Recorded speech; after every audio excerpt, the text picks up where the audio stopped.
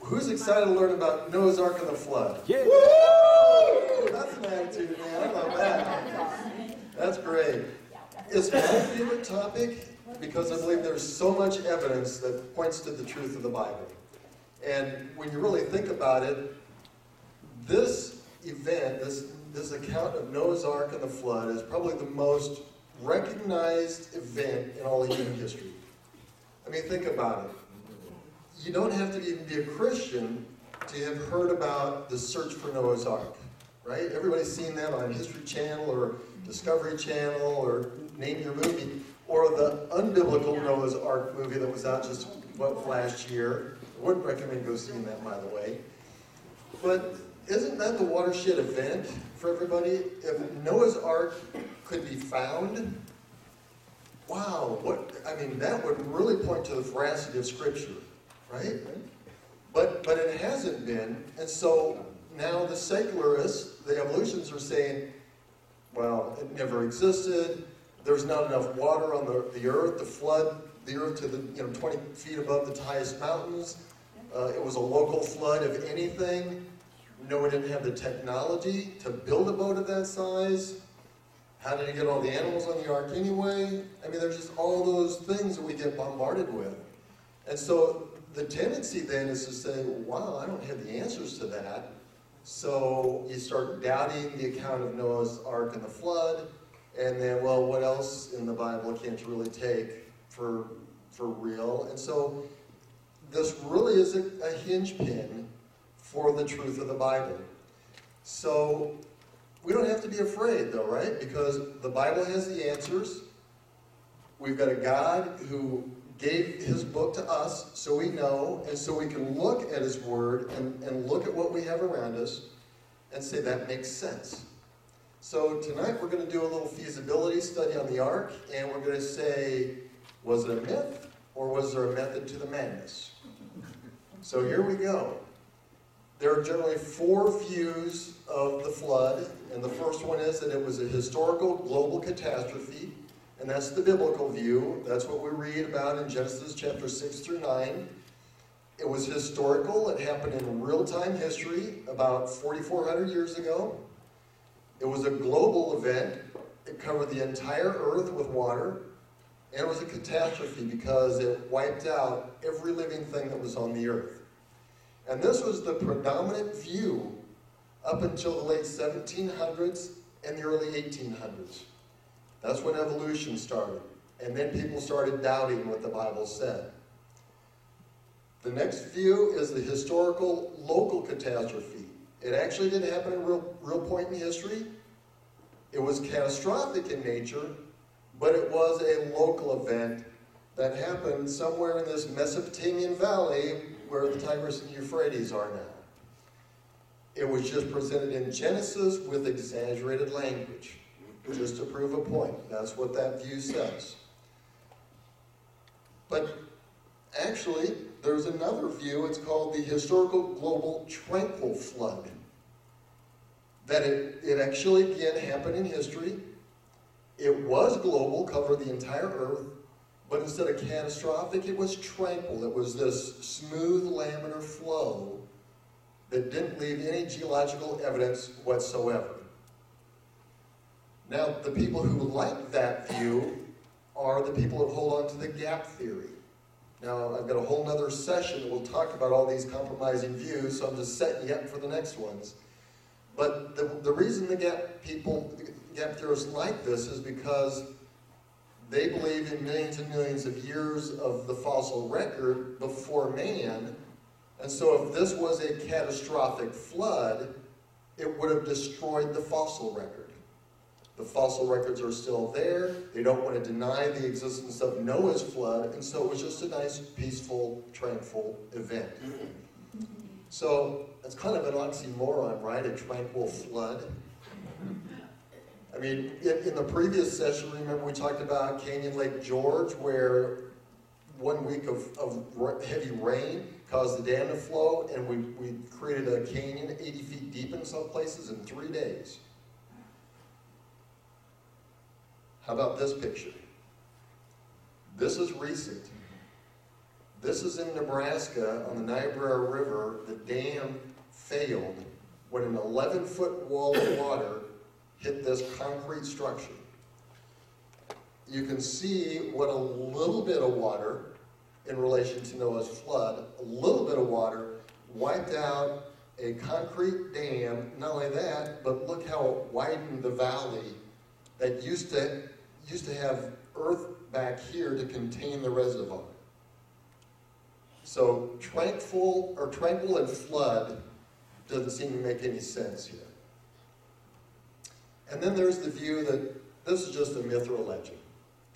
The Babylonians had their Epic of Gilgamesh, and so even modern, or, or I would say liberal theologians, take this view that this is just some hyperbole language, and it really was just, you know, kind of a legend based on, actually, the Hebrews stole it from the Babylonians, and that's why we have the legend that we do now. So those are the four views. The evolutionary model then says that Noah's flood was either a, a local flood, if any, but more than likely it was just a myth and a legend. They say the fossil record then was formed over billions of years' time as one animal form died, had some mutation before that, passed on some key genes to their offspring, and then they survived. And then over millions of years of time, this happened, and slow, gradual death and buildup of sediment caused the fossil record. That's the evolutionary view. It uses index fossils to date rock layers. I'm going to explain what index fossiling is here in just a few, few slides, so bear with me. But remember, they also hold on to this uniformitarian principle, the theory of uniformitarianism. And I, I mentioned this, I think, in every lecture, but it's key to understanding what their worldview is. And the, the assumptions are that only present day observable geological processes at their current rates and magnitudes are all that's required to explain the geological evidence that we see or the geological record. So that being said, the present is the key to the past. What we see now has been happening forever. So let's take a slow geologic process like river erosion, and again, we'll apply it to the Grand Canyon. The Colorado River erodes just an inch or two at the bottom of the canyon every year. It's five miles deep. So it would have taken millions of years to carve this out for the slow Colorado River. That theory totally ignores catastrophic events, even really local catastrophic events. How many times has the Colorado River flooded and they don't factor that into the equation? But certainly it ignores Noah's flood. So what is fossil indexing? Before I dig into that, let me explain a few things. Fossils, almost every fossil is found in sedimentary rock. There's very few, sometimes on a rare occasion, where you'll find one in a metamorphic rock. A metamorphic rock is basically a sedimentary rock from all these sand grains that have come together under pressure, cemented everything together. But it's changed, it's metamorphosed by heat and pressure, and so most of the heat and the stretching destroys the fossils. So very few found in metamorphic rocks. Zero found in igneous rocks, which are made of molten material that solidifies, so that would have totally destroyed the fossils. Argument would say that you could use radioactive or radioisotope methods to date metamorphic rocks and igneous rocks. I have another lecture that you'll have to wait around for to talk about the errors in carbon dating and, and radiometric dating. But you can't use radioactive methods to date sedimentary rocks. It's because all these sand grains and the sediments come in from all different places and it gets aggregated.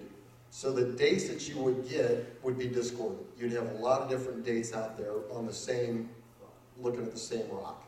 So they don't use radiometric dating to date sedimentary rock. So what do you use? Well, you use fossils, right? So this is kind of a record of all the different layers here. You have the Cambrian, the Ordovician, the Silurian, Devonian, all these different rock layer groups or time periods. And let's just take, for example, the Paleozoic time period.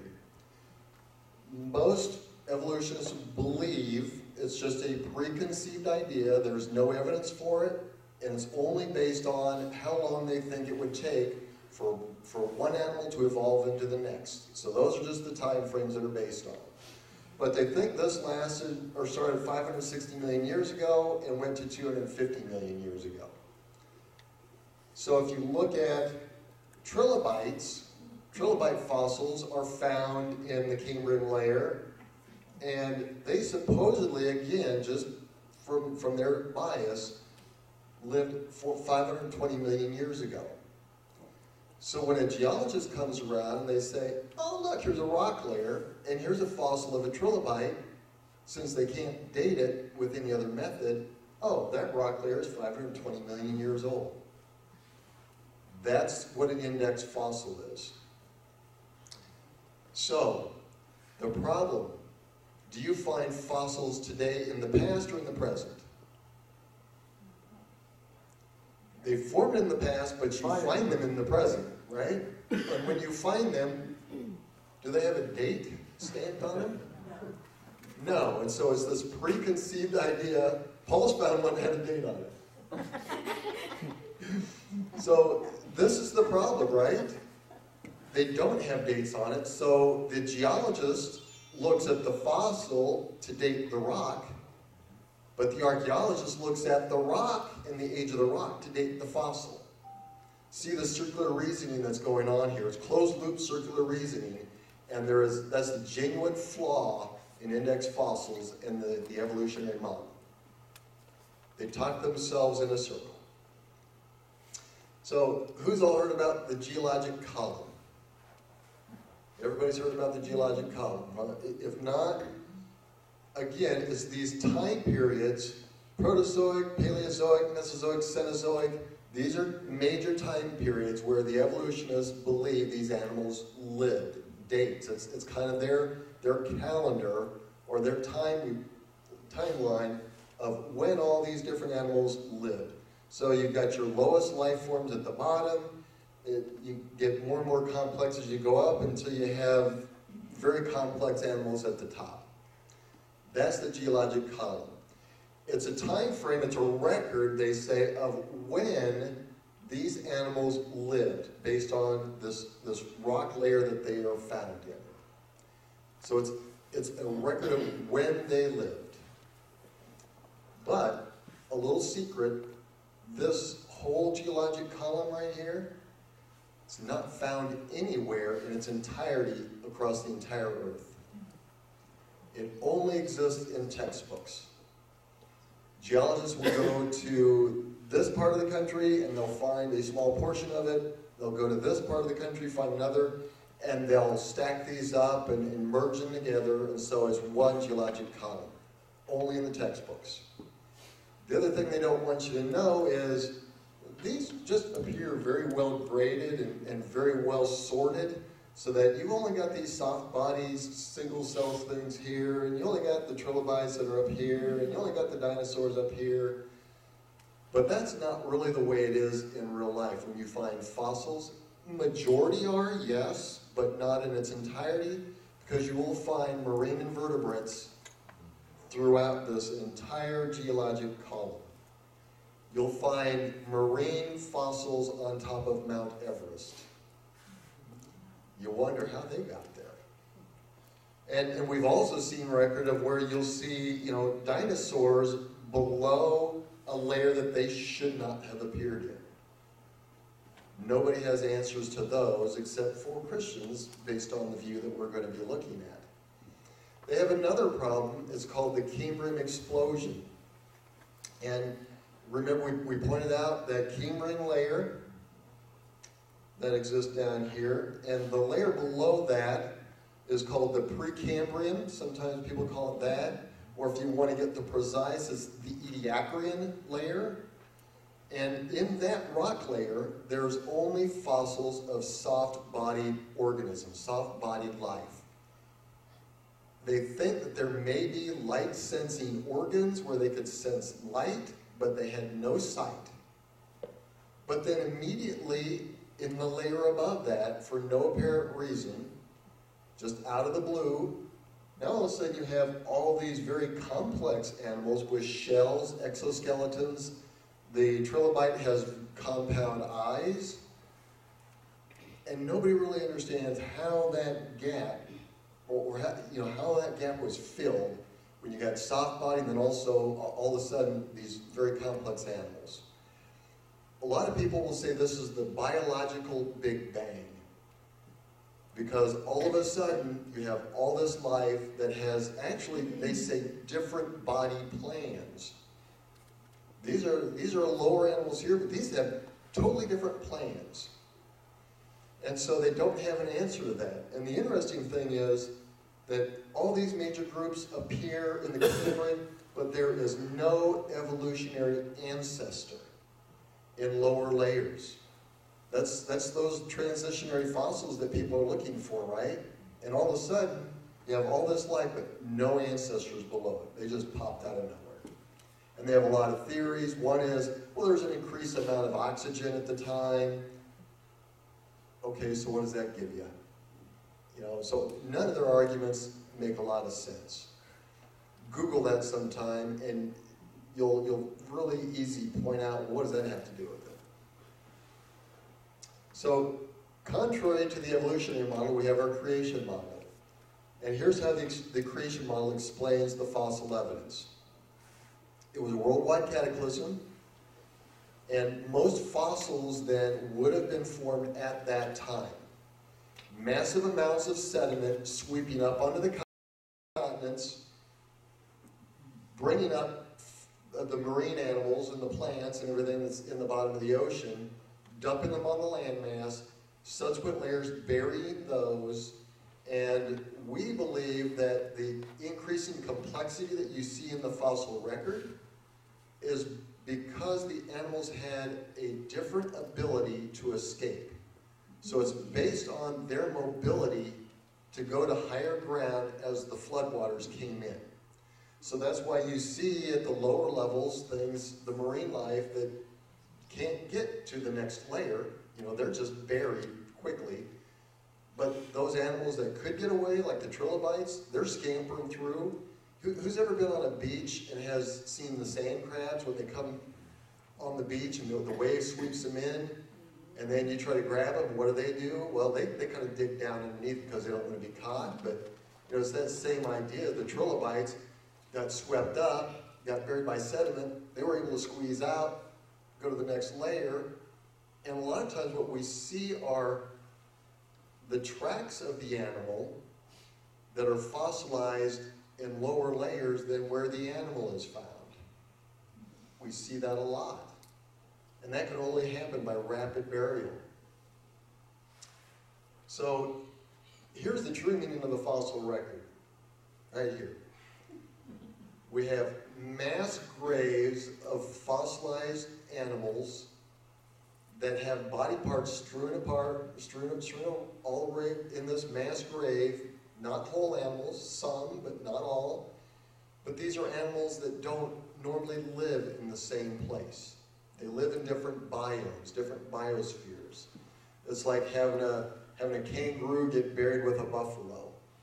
You know, they don't live in the same places, but they certainly got buried in the same places. So the fossil record is not an example of when an animal died.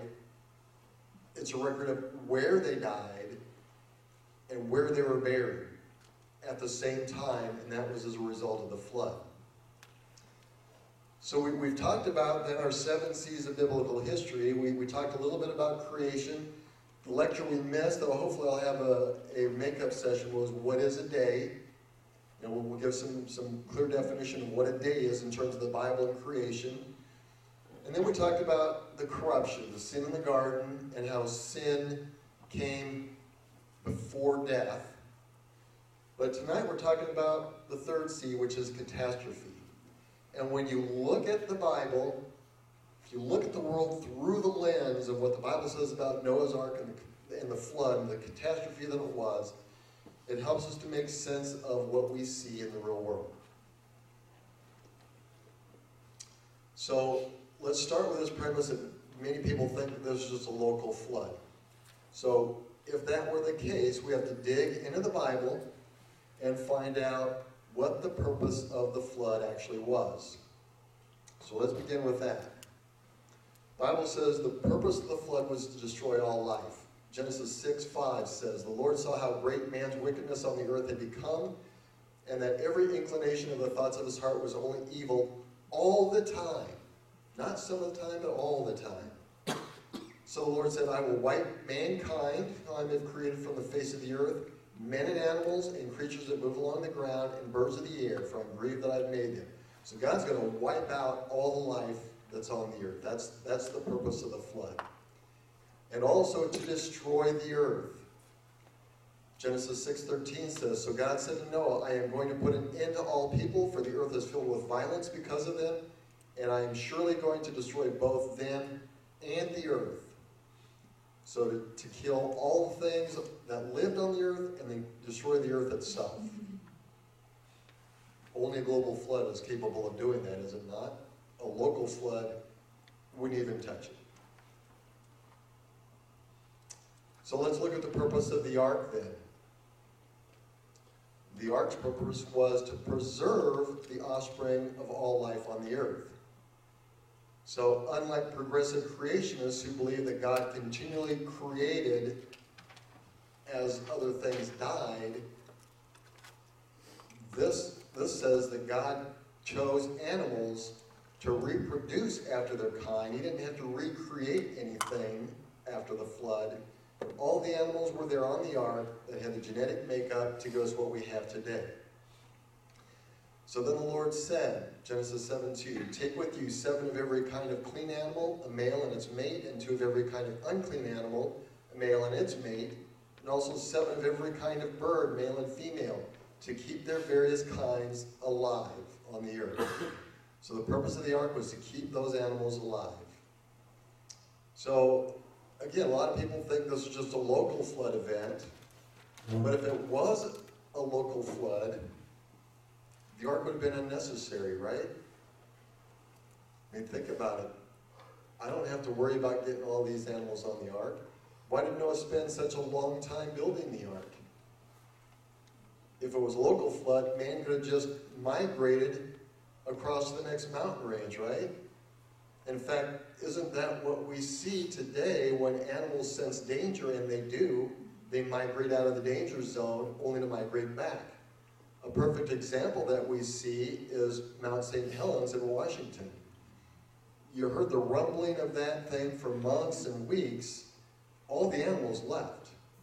Man was the only dumb one that didn't, and they were destroyed by the flood, right? There was a there was a man that said he had lived there his entire life. He says, "I'm not moving." His house was buried with ash. So animals sometimes have more sense than people do. So, if all the animals had to come on the ark, then how big was the ark? So let, here's, let's do our little feasibility study. This is not the ark, right? Unfortunately, this is what you see in, in Sunday school nurseries even. We want to, we need to redo the walls if we got painting murals of this on them, right? We want to paint the real picture because it was huge, it was enormous. But but the message that we're sending here to our kids is this is a myth. You know, Noah's Ark was a little boat that had the giraffe sticking out of it, and the elephants looking over here like like they're either going to be seasick or they're going to tip over the ark, right? So, and really, you know, how many people have a real sense of what the real Noah's Ark looked like or, or how big it was? We got, a, we got a few in there, okay? Here's what it looked like. This is, and I know we've got some people that have gone there, and I know we got some people that are going. So this is, this is exciting, but this is called the Ark Encounter. It is in Williamstown, Kentucky, about 30 minutes away from uh, Columbus, Ohio, Cincinnati, Ohio.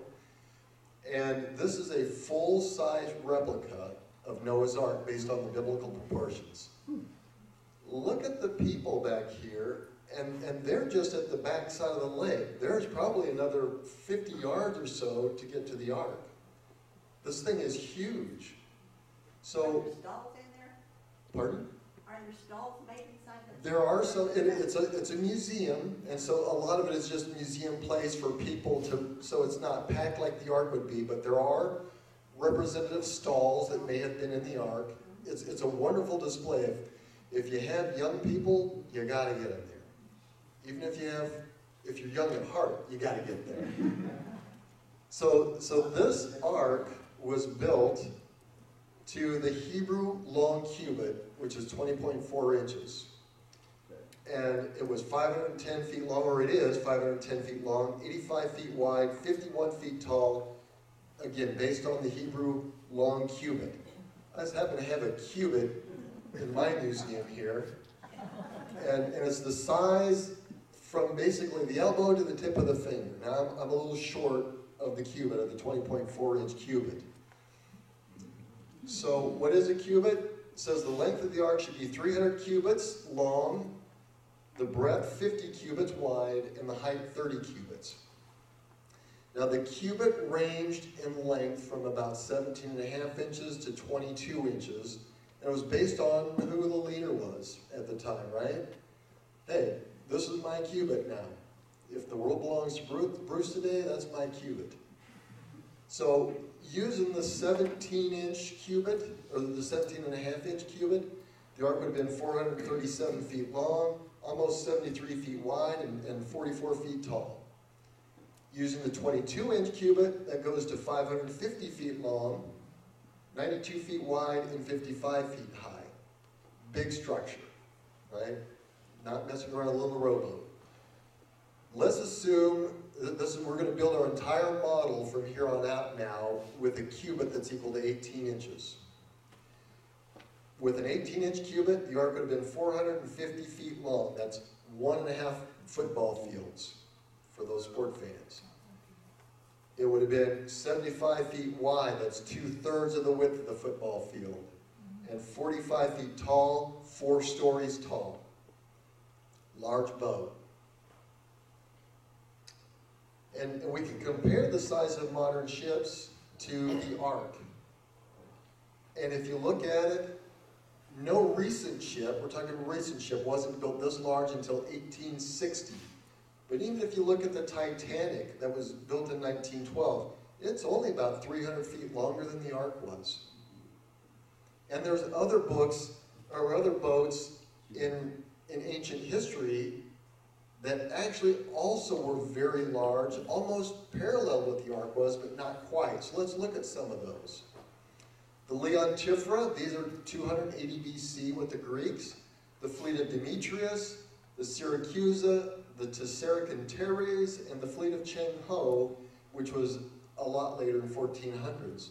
So let's just look at a few of these. The Leontifera was the largest of Lysimachus, which was the successor to Alexander the Great. So this was during the Greeks. It fought in an Aegean Sea battle in 280 BC. And James Ussher, Bishop Ussher, who was around in the 1600s, used earlier records that he copied that described some of this ship. It says, the largest ship of all had eight tiers of oars. Eight tiers of oars. She was admired by all for her large size and exquisite construction. In her were a hundred oars per tier, so that on each side there were 800 rowers, which meant 1,600 in all. On the upper deck or hatches, there were 1,200 fighting men who were under two special commanders. So if you think about this, in an airlines, you know, in, in a plane, you don't have a lot of room. You probably need about three feet if you're rowing. So if you had 100 rowers on each side and three feet between them, that's at least 300 foot, and that's the bare minimum, right? There's probably more like four or five feet with these long oars, so probably close to 500 foot long. Plutarch, in his book, Life of Demetrius, says this is about the fleet of Demetrius. He says, up until this time, no man had seen a ship of 15 or 16 banks of oars However, in the ships of Demetrius, their beauty did not mar their fighting qualities, nor did their magnificence of their equipment rob them of their usefulness, but they had speed and effectiveness, which was more remarkable than even their great size. And we see in the complete works of Athenaeus, the Syracusa, uh, it was designed by Archimedes. Remember, he's the one that de- developed the, hand pump the, the, that was able to pull the water up and also discovered buoyancy and was able to tell the weight of the king's crown. Remember that story? So it was designed by him and built by the ancient Greeks, Hiram, or, or for Hiram, who was kind of this tyrant ruler at that time in, in Syracuse and Sicily. says when he had understood that there was no harbor in Sicily large enough to admit this ship, and moreover that some of the harbors were dangerous for any vessel, he determined to send it as a present to Alexandria to Ptolemaeus, the king of Egypt. They didn't have a harbor long, big enough to sail this thing.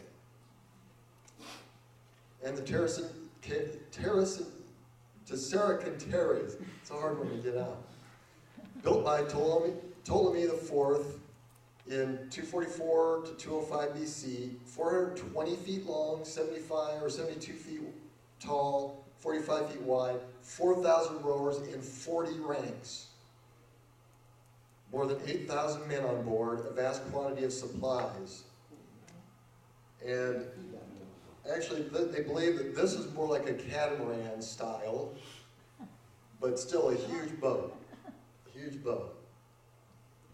And then about 100 years before Columbus sailed the ocean blue in 1492, right, we have the, the treasure fleet of Cheng Ho. He was a Chinese admiral and he explored the Indian Ocean looking for a, a water route to Asia.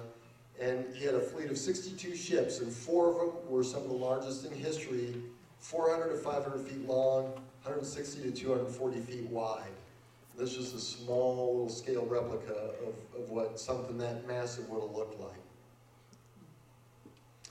So there are other historical boats as well that were as large. And doesn't that make sense that they would model some of these after Noah's boat? I mean, after all, he's, he's the one that built the one that survived the big one, right? So why wouldn't you use the model for that boat? We'll see that a little bit later. So, so even with the size of the ark, how did Noah get all the animals in there? Right? Paul's got the question. We've got the answer. God says, take two of each kind and seven of each of all the clean animals, and also says take seven of each of the birds as well. So remember, these aren't species, these are animal kinds.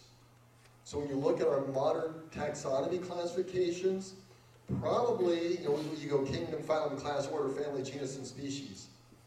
Uh, Mark Barnes in our Sunday school class knew this. I had to write it down because I didn't remember. But family is what most creation scientists believe that, that this animal kind represents, much smaller than species. So these are hybrid animals right here, just a, a few examples of a hybrid am animal. This happens to be a cross between a camel and a llama.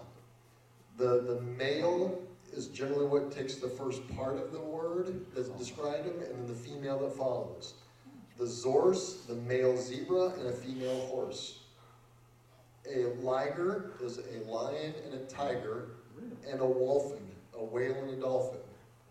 These are separate species, but of the same kind. So the horse and the zebra, different species, the horse kind the cat kind, the whale kind. And really, there's a new science that's being developed right now that's called baraminology. It's, it's taken from two Hebrew words, bara that means created, and min, which means kind, so it's the study of created kinds. And so they're looking at as long as you can have two species that can, can have offspring and that offspring is fertile, that's part of the created kind. We have greater than 300 different dog varieties right now, right? We had a golden retriever. There are Pomeranians, there are Chihuahuas, there are Great Danes. There's a whole bunch of dogs out there. Most of them are because of selective breeding that's happened over just really the last couple hundred years. So Noah didn't need to take two of the, the lion dog, and two of the beagle, and two of the collie, and two of the Great Dane. You just had to take, what, two of the dog kind, like maybe wolf or dingo or something that had all the genetic material to get all the dog kinds that we have today. It didn't need all the different varieties. In fact, you can take two golden retrievers right now and mate them, and you're going to get a poodle. No, you're going to get another golden retriever. Right. You've lost the genetic variety, and the only way you can get that back is if you breed the golden retriever with a wolf, and then you in- reintroduce a lot of the genetic material again that has the diversity. Same thing with horses. We didn't have to take the Clydesdale to the Shetland pony, no, I had to take two of the horse kind. So that really cuts down the number of animals on the ark. So you're asking, well, then how many were there? So let's take a look. Secular scientists say that there are 3,700 species of mammals. But we already know that whales and dolphins are mammals, and they, they live in the water. We have otters and sea lions and seals, and they spend a great deal of time in the water. So maybe they didn't even have to go on, on board the ark. Certainly the whale didn't have to go on the ark, right? so God didn't have to worry about that one, but I don't think it would have been a problem for God. But for the sake of argument, let's put all 3,700 species of mammals on the arm, shall we? There are 8,600 different species of birds out there. But you have a lot of waterfowl, right? Ducks and geese. We got some hunters in here. Would have been good picking season for Brian. Would have been, would have been any left to re- repopulate the earth, though. So some of those waterfowl, I mean, they could have survived outside the ark, right? It's very possible. It only rained for 40 days. So it's, it's, it's possible that they could have floated on some debris as well. But let's make it as hard as we can for poor Noah, shall we? Let's put all 8,600 species of birds on there. There are 6,300 species of reptiles in the world today. Sea snakes, sea turtles, again, live in the water. They don't need to be on the ark. Those are just a couple examples. But let's dump all of those on the ark too. What about amphibians? We have crocodiles and alligators, and they live a lot of time in the water. Again, those are just examples, but let's dump all those on the ark too, right? Let's make this as, as difficult as we possibly can in our little model. So what about the fishes and the arthropods and the worms and the mollusks and all these other animals? Right? They live in the water. I don't think Noah would have to take those on the ark at all, so we're not going to put those on the ark. So, in total, out of over a million different animal species, right? We're only looking at maybe 21,100 that had to be on the ark. Should have, would have been much smaller because we're talking about animal kinds, not species, right? So if you had 21,100 species and a mom and dad, that's 42,200 animals. Let's throw on there the clean animals, which would have been, what, those animals that were used for sacrifice, ox, sheep, ram, those kind of things. It's interesting because Noah was supposed to take seven of each of those clean animals, right? Any thought why? So you sacrifice some? Think they'd sacrifice all of them? No. there were three sons, right? So if each one of those sons took a pair, that leaves one left of every, all the all the clean animals for the sacrifice. So let's let's give Noah's sons a little chance in life to start breeding some of his uh, animals here. So 7,800 clean animals. Let's I mean we kind of add that in there. That's very conservative. That makes a nice round number, 50,000, right? Makes my math easier. But creationists think, who do this baraminology, think there could have been less than 2,000 kinds on the ark, so much smaller. But we're going to keep the 50,000 animals. We won't throw them overboard yet, not until the storm gets rough. So let's look at the capacity of the ark. And we're gonna use the smallest cubit. This is, a- this is twenty point four inch, we're gonna use a 17 and a half inch cubit. Again, to make the smallest ark that we possibly can. So given that, the ark had one and a half million cubic feet of capacity. That's equivalent to five hundred and twenty-two railroad stock cars. If you take those five hundred and twenty-two railroad stock cars and you line them up in a train, it's six miles long. Folks, that'll stretch from ninety-fifth and Metcalf to one hundred and forty-third in Metcalf. That's a lot of cars on that train, a lot of capacity. So, we do know there are a lot of big animals, right? Elephants, what else are, what- name a couple of other big animals, giraffes are tall, Rhinos. rhinos, hippopotamuses, is that all, all the big ones you can name? Horses, Horses, they're still not as big as an elephant, but I can name a whole bunch of small animals, right? Mice, Rabbit. rabbit, squirrel, chipmunk, birds, ducks, geese, chickens. I mean, I can go on and on and name small animals. So creationists say that today the average size of animals are about the size of a sheep. Right? If you take all of the animals that we have, the average size is about the size of a sheep. You get 240 sheep in a railroad stock car. And you say, wow, yeah. Mike, Mike said, you're packing them in pretty tight, brother, right? Yeah, so, Yeah, yeah, right.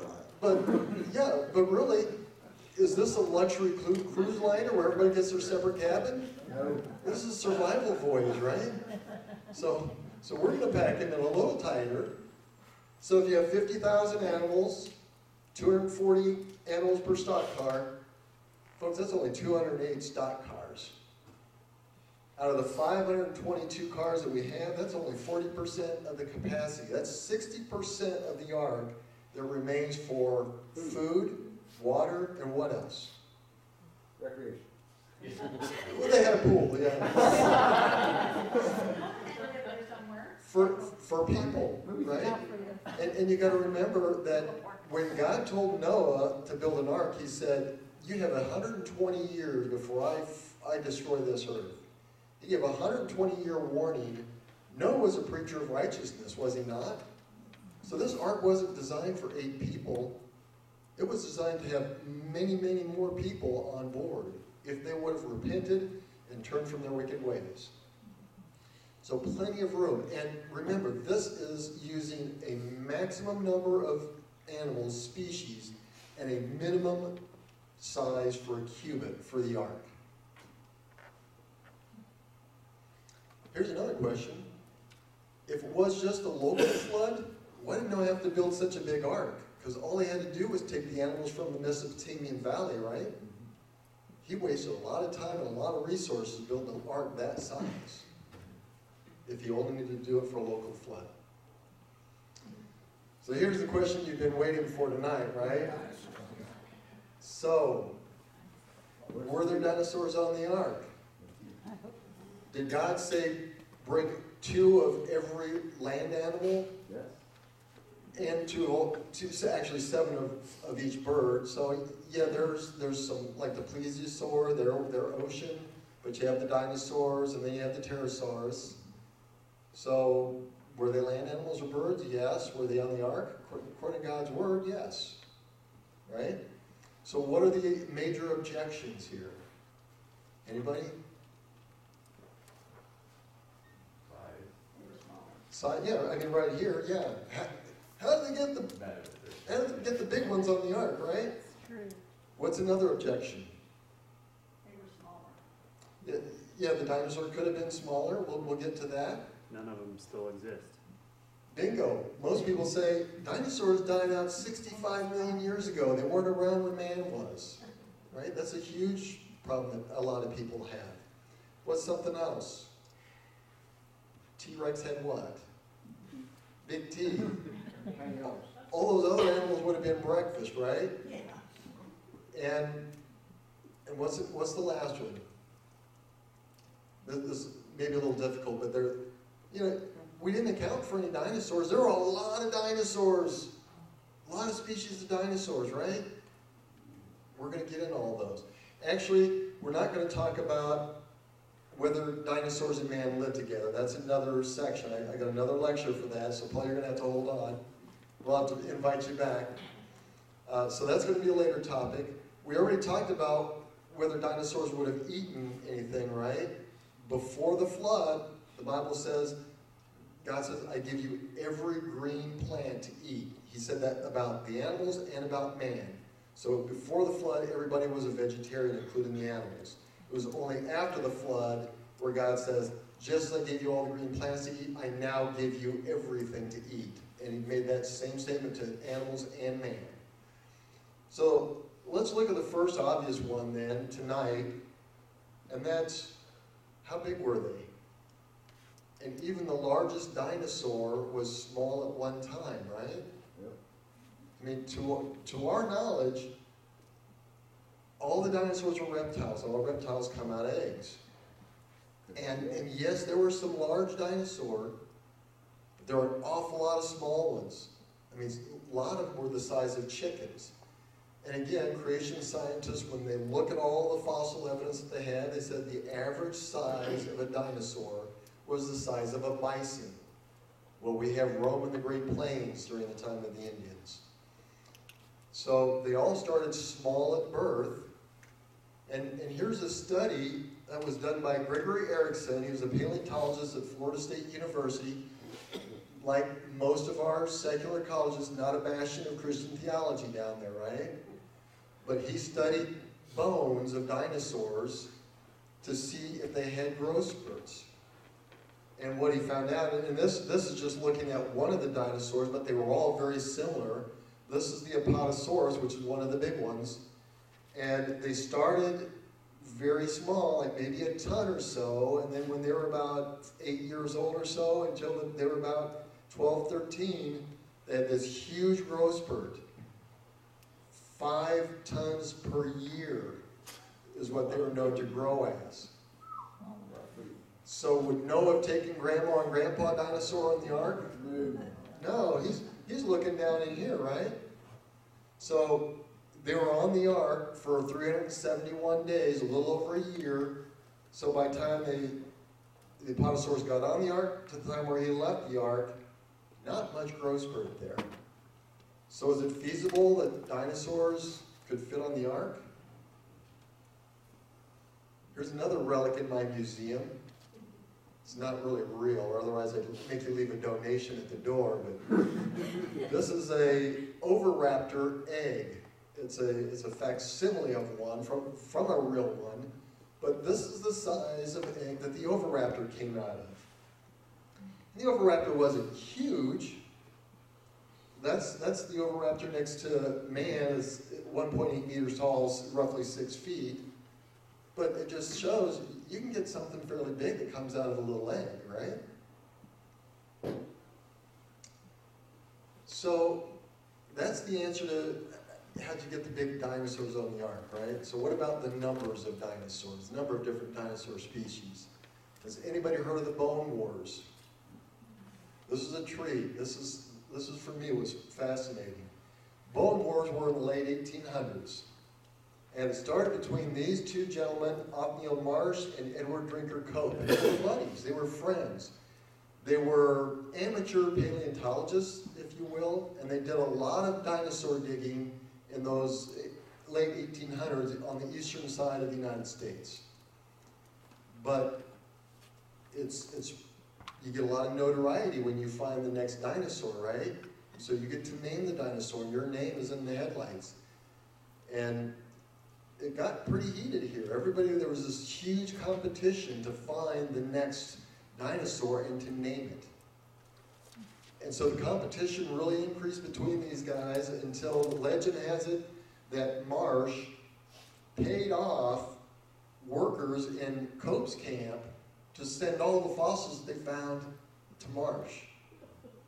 So that really started the Bone Wars, but it, it really took on a whole new light here when Cope received this giant plesiosaur fossil from a Kansas military doctor, right? A Kansas military doctor here. he named it the Elasmosaurus. Problem was that in his exuberance of putting this fossil together, which again, you don't find whole skeletons very often, so this is, this is pretty remarkable. But in his exuberance to put it together and to get his name published in his next journal, he put the head on the wrong side. The head was supposed to go on the long side of the long neck, and that was the tail. So that was Cope's blunder. Marsh was quick to respond to this, and he gleefully pointed this out. And, and Cope actually spent a small fortune trying to buy up all these publications to save his reputation and his name. So, quite a blunder that, that Cope made. But just so you don't think that Marsh was clean, we'll tell you a story about Marsh during these bone wars. In 1877, he found just a couple of vertebrae and a, a fragment of a hip from a dinosaur, and from just those fragments, he said, This is a new species. This is called Apatosaurus. Right? We saw the, the growth curve of the Apatosaurus, how big it got so quickly. A couple of years later, in a different location, he found some other fragments. Again, just fragments. And, oh, I found another species. It's called Brontosaurus.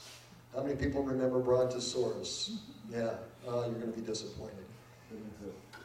Yeah, it doesn't exist, but we'll tell you why. In that same dig later, they found a lot more bones of the Brontosaurus. So he said, okay, look at this. Well, in 1903, the scientists looked at the Apatosaurus and the Brontosaurus, and they said, these are bones from the same dinosaur species. And according to the rules of paleontology, the Brontosaurus goes away because they stick with the first name. Right? So Brontosaurus is on its way out. Got even worse. The head was a completely different dinosaur species called the Camarasaurus. But he placed that on his Brontosaurus, and the rest of the paleontologists kind of had this hint that, yeah, something doesn't seem quite right here. In 1910, in another excavation in Utah, they found the right head for the Apatosaurus. This is a picture of 1934 in the Carnegie Museum. And this is the, the old Brontosaurus, new Apatosaurus with the wrong head. Even though in 1910 they found the true Apatosaurus, they didn't replace it on top of the right body until 1979. So I grew up and I learned about Brontosaurus. Did anybody, Charlotte, are they still teaching Brontosaurus today? No? He doesn't exist anymore today. Only by name, name only. So if you if you really study it, there's probably only about 50 dinosaur kinds. Now, Cope and, Marsh worked furiously to, to find the next dinosaur species and name it after them, right? But in their haste, they did what? They mixed up the bones and called it something new. A lot of times they found the adolescent dinosaur fossil and they said, oh, smaller, different species. No, just a smaller version of the mom and dad. So they misnamed a lot of dinosaurs. And by the end of the Bone Wars, there were about 142 new species of dinosaur that, that Marsh and Cope came up with. But when you take out all the ones that were duplicates or mixed up bones, there are only about 32 or so actual different dinosaur species that they had found. So when you look at dinosaur kinds, probably only about 50 not much that you really had to put on the ark in addition to all the animals that we talked about, right? So now let's look at the design of the ark itself. Um, we've seen how, how it's large enough, but what about the shape? Because a lot of people will say uh, it couldn't survive the big catastrophic flood that you guys are talking about anyway, right? Well, let's take a look at that. What was the ark made of? Wood. Yeah, we don't know what kind of wood that he used. Go for it. Gopher wood, right? So the Bible only uses gopher, this word gopher once. And so it's hard from the context to really know what kind of wood it was.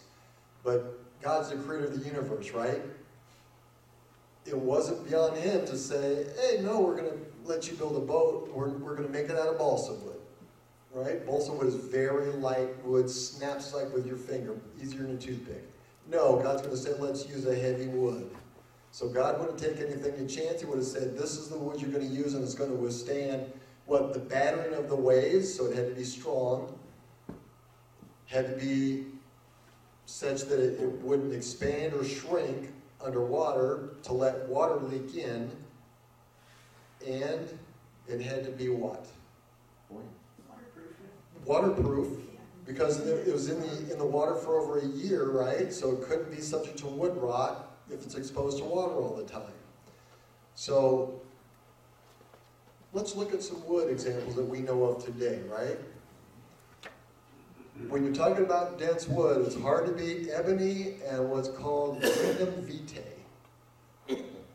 Lignum vitae weighs 83 pounds per cubic foot. A cubic foot of wood weighs 83 pounds. That's dense wood, right? The strength is incredible. It, it will withstand 29,000 pounds of force per square inch. That's strong wood. You have to have a titanium tipped blade to cut that wood. Uh, pardon? Uh, actually, this, this does grow in portions of southern Florida out, out there on the real southern portions, but a lot in Central America uh, grows a lot there. Another one is uh, Brazilian ipewood. Has anybody heard about Brazilian ipewood? Very dense wood also. Has the same fireproof rating as concrete. If- was salt, how'd they cut that? No, it must have had some technology, They right? didn't have electricity back in. Not, not for power saw, right? But we'll, we'll get to the technology part here in a second. But if, if you take one of these dense pieces of wood and you throw it in the water, it sinks. That's how dense it is. Is that a problem to build a boat out of? Yep. Yeah. What are our cargo ships made of today? Steel. Does steel float? Yes. The volume inside. But if you just take a chunk of steel and drop it in water, it's going to sink just like this heavy wood. So that's not a problem for building ships out of, right? When I was in college, we were belonged to an organization called American Society of Civil Engineers. Every year there was a competition for a concrete canoe race. We built concrete canoes. I built one, I never floated in one. I didn't trust my own, own design skills. But they do float. So, here's what we know about the word ark. It's also not used very often in Scripture. The Hebrew word is teba, and it's, it's really only used in two occurrences. One's when we're talking about Noah's flood or Noah's ark, and the other time it's used, this is the basket, Tabal, that Moses was placed in when they sailed him down the Nile River to escape the judgment of the Pharaoh when he was killing all the infants. Only two occurrences that, that this word is used in the Bible. So, given that, we do have God's recorded instructions of how to build the ark, right? Or at least the size. It was 450 feet long, 75 feet wide, 45 feet high, using the small cubit. There were three decks, upper, middle, and lower, and there were rooms inside, cages inside. The roof was finished 18 inches from the top, and he was supposed to put a door in it. And that's pretty much all we have that's recorded. And many people say, well, it's got to be a barge then, it's got to be a shoebox. But I think that's reading something into the text that isn't necessary. Because with just a few little modifications here, it could be a ship that would be more comfortable and more seaworthy than just a barge. And, and incidentally, God told Noah 120 years before the flood this was going to happen. I don't think this is probably the only conversation that Noah and God had. It's the only recorded one. But I don't believe God would have left this up to chance, even though Noah probably was very equipped and very studious in building ships. Um, I don't think he would have left that to chance. So now let's talk about the, the technology. We don't know how dense the wood was that Noah used. It could have been the, the construction method where he's got lap siding and, you know, on the inside that shifts. In the Ark Encounter, it, it explains a lot of the, how the Ark could have been built. But we do know that technology in the, in the beginning, a lot of people have a misconception that man was pretty primitive. But history proves that we lose technology because we still don't know how they built the pyramids. Right? Some of those blocks weigh hundreds of tons, and nobody knows how they built them, especially in the time frame that they built them in. Romans invented concrete. That concrete is still existing today.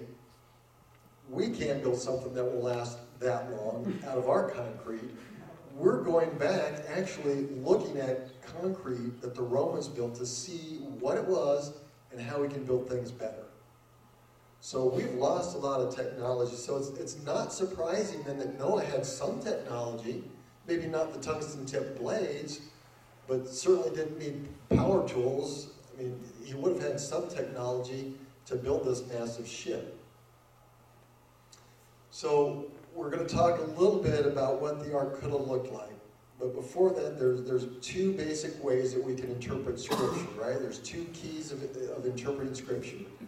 One is exegesis, that's, that's pulling words out of the text to derive its meaning from the grammatical historical context.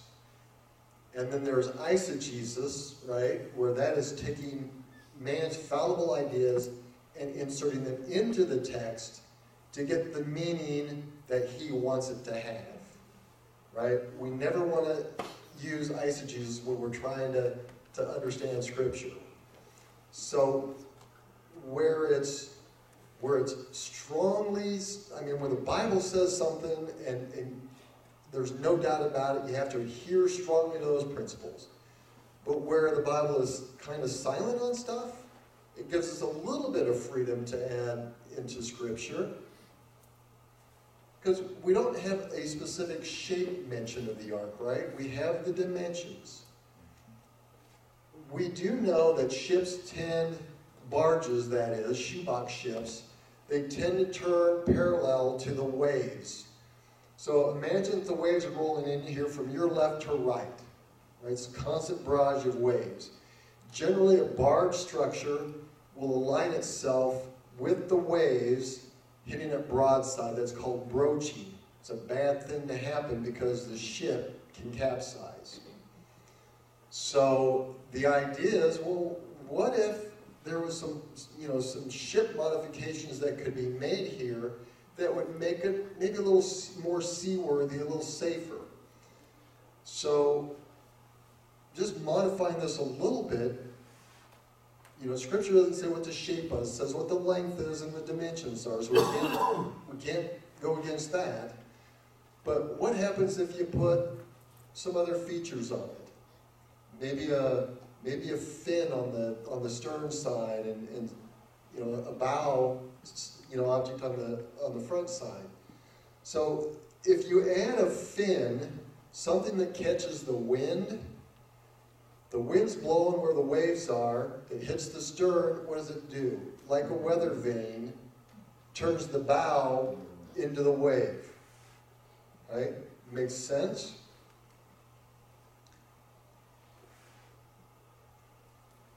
What about the, the bow of the boat? Because now you've got it you've got it facing into the wave, but now if it's just a blunt object, now those waves are pounding against the front of the ark. Doesn't make for a real smooth ride. This is what's called a bulbous bow. And it's, it's a protrusion under the water layer, and it cuts down on drag, allows the boat to go faster, so it's more efficient, it gives it a smoother ride. So these are maybe just some features that Noah may have known about and said, hey, this will make this ship a little more seaworthy, more comfortable, so it's not going to batter the animals around in the ark. So here's an example of this bulbous bow. This is the shape of the bow, of a bulbous bow. This green wave is the result wave that, that hits the boat when you have a bulbous bow. Notice where it breaks just before the ship, not right on the, the face of the bow. The blue line represents a conventional bow, and note this wave that breaks right at the base of the ship. If you have the shape of a conventional bow plus the bulbous bow, look what happens. These waves tend to cancel each other out, just like sound waves of different frequencies, and it cancels each other out. So what we see is the flow would have been a lot smoother across the, the ark. So if you think about this, we see this kind of design in Greek warships. Again, Noah would have passed down shipbuilding to his ancestors, right? They would have said, I'm going to build my boat again, a, a, looking like the one that survived the big one. Don't need it that size, but I want the same features. So we see things like wind catching devices here that were supplemented again later with sails. But even, even ships that have sails in them, they take them down in huge storms, right? So Noah's Ark didn't need a sail. But look at this bulbous bow. Now remember that the Greeks also used these for ramming to poke holes in the other ships. But I think this was a, a remnant. I think they knew that a bulbous bow cuts down on drag and makes their boat go faster. Man, this is just now just an ancillary device here where I can ram other ships. I think that came about later. And, and if you look at early Mesopotamian pottery, right, which, which came not long after the flood, we have this same type of bulbous bow in all the, the pottery that we have. So it's very possible that, that Noah's Ark had some of these similar features. I won't be dogmatic about that. There's people that will disagree. But I think that still allows to be true to the biblical text of this size, but there's no mention of shape. This is a steel cargo ship. Ratio-wise, length, width, and height, a lot of similarities to Noah's Ark. Look at the bulbous bow on the front of that. We still use that today. We've modeled that either after the, the Greeks or the Mesopotamian, or we got that and just rediscovered it because it makes sense with what the boats do today, right? Now, there was a 1993 study done at a famous ship research center in Korea, South Korea. And what they decided that they used a lot of different combinations of, of these characteristics to build ships. The hull, the, the height of the hull, and, and the taller it is, the stronger it is. Stability, the wider it is, it's not going to capsize as easy. And then the length, the longer it is, the better for a smooth ride because now it can ride on two crests of waves. And, and today they call that hogging because now it settles in the middle. So if it's too large, if it's too long, you have problems. And, and, and everybody remember the Edmunds Fitzgerald? I'd love to sing that song for you. I won't. But the Edmunds Fitzgerald was on the Great Lakes, Lake Superior, and the, those waves were a little choppier than what you'd find on Ocean Sea, and a lot of people think that's what happened. It was too long for the waves, and it was supported by waves here and here, and it broke apart in the middle and settled to the bottom. So you have to be careful about having too long of an ark. Well, the study looked at several combinations of these three characteristics, and they said that Noah's Ark was right in the sweet spot based on the study from a ship research center that's not Christian. They said the dimensions of the ark would have made it an average performer in any one of the areas But when it's, they're all combined, it was the best design overall, taking into consideration all three of those. Not by accident, was it? So finally, God also told Noah to cover the inside and outside with pitch. And the word for pitch is kofar. And it actually means a covering or a ransom or, or price paid for a life. And, and pitch was a perfect substance to keep the waters of judgment out of the ark, was it not? Inside and outside? Kept the inhabitants safe inside. But this wasn't just an ark, this was an ark of salvation, right? Noah put one door in the ark. Everything that came in through that one door was safe from the judgment. And what's that a picture of? Jesus says, I am the door. If anyone enters by me, he will be saved and will go in and out and find pasture. And when you look at the picture of Christ's blood as a perfect covering, a kofar for us on the ark of salvation, I think that's a picture of Jesus Christ. If you come into the ark of salvation today, you'll be saved, just like Noah and all the inhabitants were then. So that's all I have this week. I kept you a little long this week because I, I shortchanged you last time. So thank you for being with me today.